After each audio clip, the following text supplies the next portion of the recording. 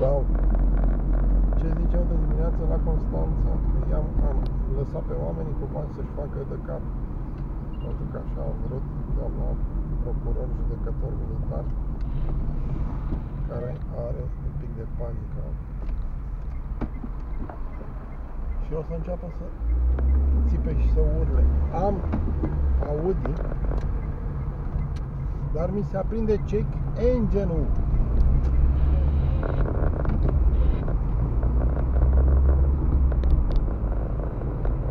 cumpăr GTX, dar nu este la bed, este la pungă.